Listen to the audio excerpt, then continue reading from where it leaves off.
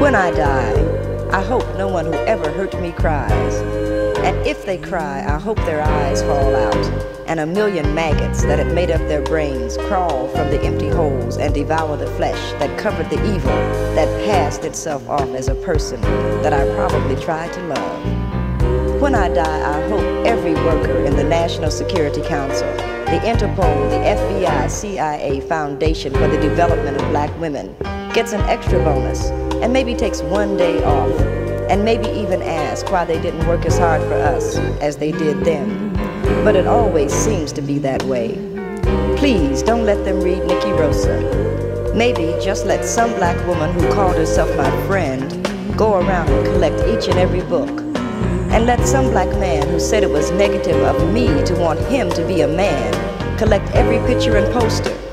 And let them burn those as they did me while I tried to live. And as soon as I die, I hope everyone who loved me learns the meaning of my death, which is a simple lesson. Don't do what you do very well, very well, and enjoy it. It scares white folk and makes the black ones truly mad.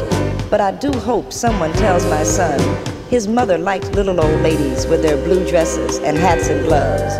That sitting by the window to watch dawn come up is valid that smiling at an old man and petting a dog don't detract from manhood.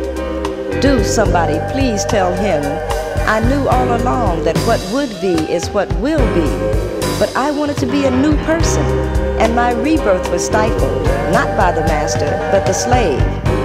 And if ever I touched a life, I hope that life knows that I know that touching was and still is and will always be the true revolution.